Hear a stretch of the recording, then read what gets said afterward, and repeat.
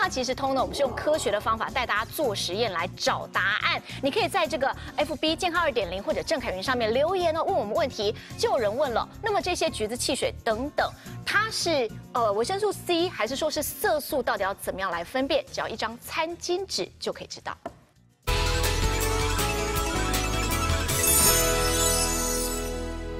橘子汽水的颜色真的好鲜艳哦。那么，哎，有人说橘子汽水好鲜艳，用餐巾纸，白色的餐巾纸是不是就可以让它现形呢？老师，这餐巾纸有这么厉害吗？因为会这样说的人呢，是因为餐巾纸呢，它有个所谓的吸附作用。嗯，那它是想说借由所谓的人工色素跟食用色色素呢，它的孔隙大小不同，所以呢，借由它吸附力大小不同呢，想要看一下说它过滤之后会不会有这样的一个效果。OK，那我们就开始来做实验吧。首先，这个是市售的橘子汽水，来，我把它倒出来。还有这个是老师先要来做实验之前早上自己打的，非常的感人。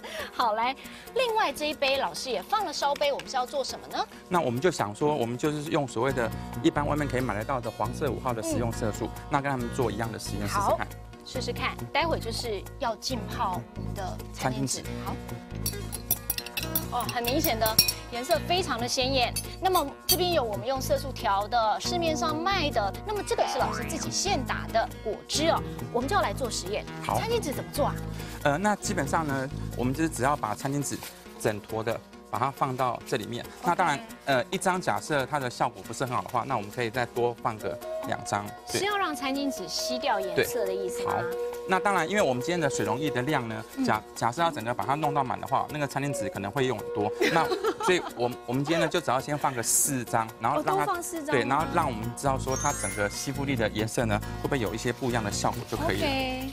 所以每个容易都放四张，来这边也是。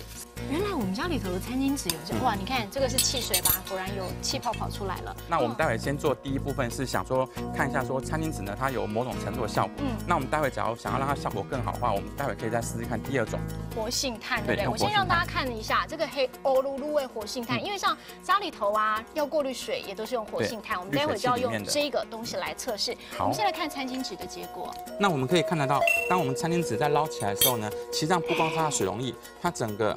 它整个卫生纸的一个部分的话，你可以看得出来。你看，如果这个新鲜果汁哦，我现在拿起来这个，好，你看这个还是白的耶，这样非常明显，有没有？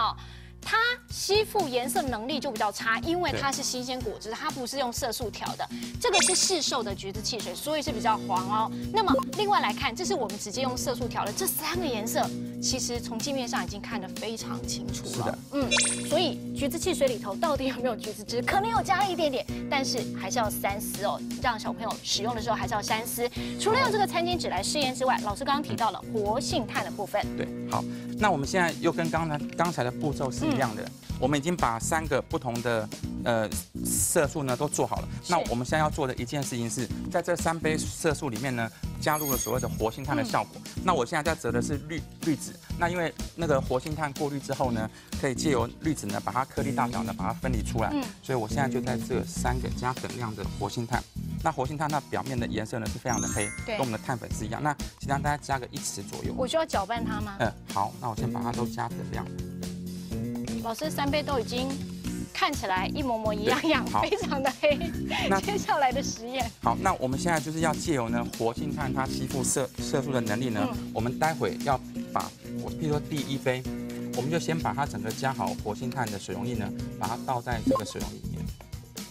那因为它整个过滤呢会需要一些时间，所以我们待会可以稍微看一下，说它过滤之后的液体呢有个澄清透明度的不同呢，大概就可以知道它有什么地方不一样。其实这个已经让我有点吓一跳了耶！大家看到没有？最旁边这个。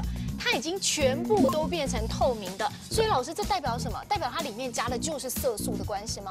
呃，应该是这样讲。其实上不管是人工色素或者是食用色素，它放到活性炭的时候呢，它都有所谓的吸附的效果。那我们今天主要是要做的一件事情，就是说想要看一下说它不同的色色素它吸附能力大小的不同。OK，好，那这个是市售的橘子汽水，它滴下来有一点点的浅黄色。那么我们再来看新鲜现打的柳橙汁好了。因为它的孔隙比较多的，就是它的纤维比较粗一点点，它几乎是完全目前看起来是滴不不下来。所以从这样的实验，大家就可以知道，一张餐巾纸或者家里头有活性炭的滤水器的话，就可以做相关的实验了。大家别忘了，喝果汁是为了什么？为了健康吧，不是为了喝色素吧？所以到底要喝色素的还是新鲜的，就让自己来做聪明的选择喽。健康即时通，即时通健康，有任何的问题，上 FB 健康两点零的 FB 网站或者郑凯云粉丝团都可以帮你找专家解答。